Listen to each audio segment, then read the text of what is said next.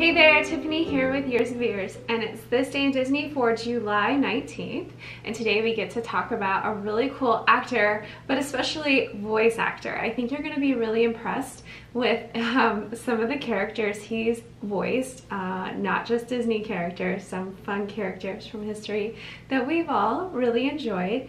Um, his name was Dallas Raymond McKennon, or he liked to go by Dal McKennon. So he was born on this day, July 19th in 1919, which is pretty cool. Quite a bit back there. Um, but he was born in La Grande, Oregon. And Oregon and La Grande, Oregon played a big part in his heart his whole life, and he never strayed far, uh, too far for too long from Oregon. Um, so like I said, he was uh, born there. He ended up being the voice of Gumby in Art Clokey's um, Gumby. And then he was also Archie Andrews in um, the Archie series of Filmation. Um, he was also the primary voice of Buzz Buzzard in Woody the Woodpecker. So he he created a TV show um, back in the 50s. Uh, it was a TV wraparound series. I'm not exactly sure. I, I, don't remember. Obviously, I wasn't there in the 50s, but it was Space Funnies and Captain Jet, which um, was seen weekday mornings um, on TV in Los Angeles.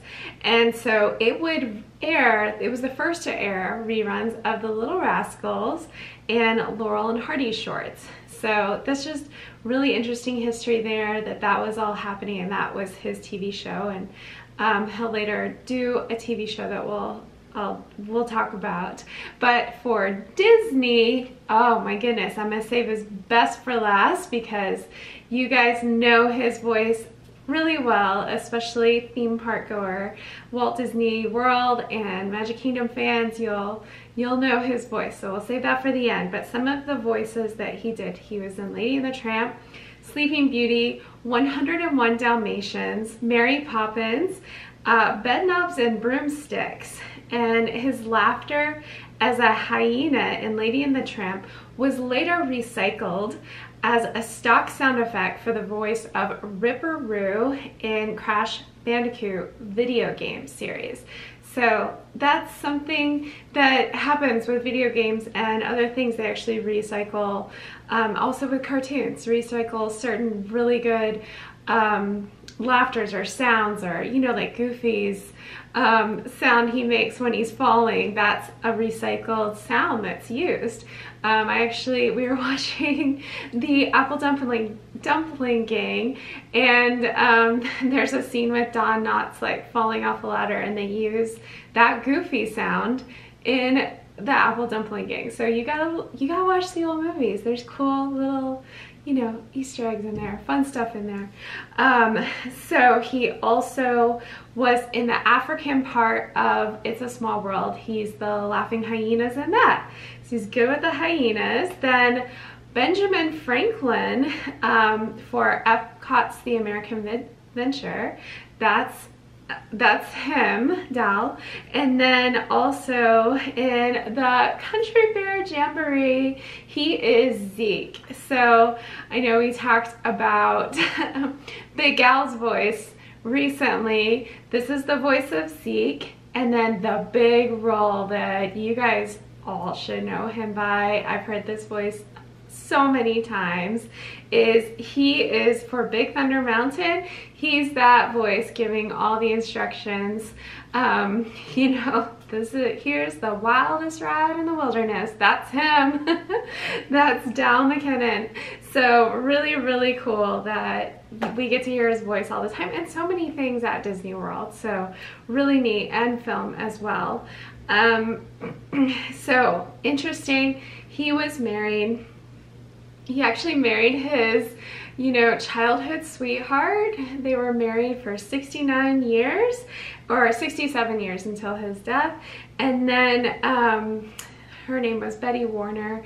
They had eight kids. Six of them were girls, two of them were boys. And actually, he worked in California until 1968, and then they headed back to Oregon. He loved it there, so much so that he worked.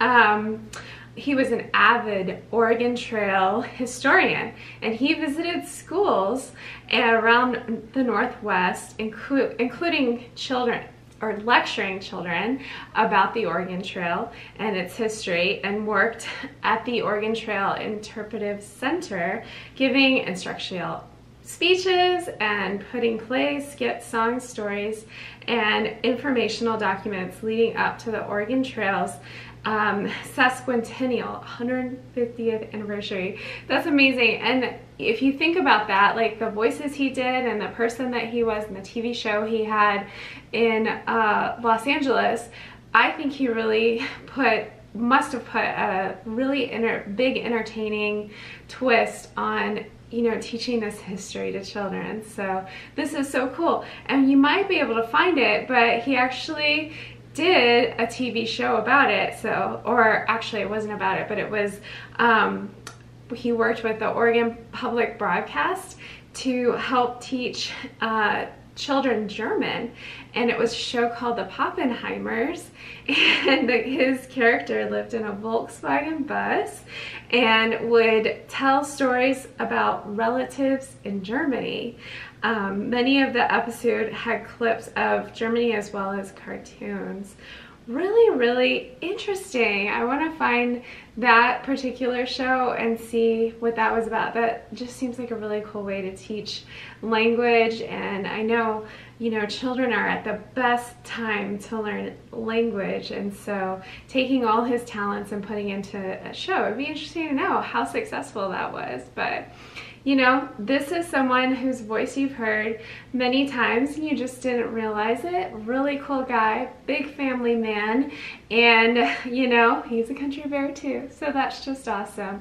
So go see what you can find about Dal McKennon um, out there. Maybe I'm to be looking too for that particular TV show. I didn't find it this time. So, and um, you know, we will, that's it for this day in Disney, and we'll see you guys next time.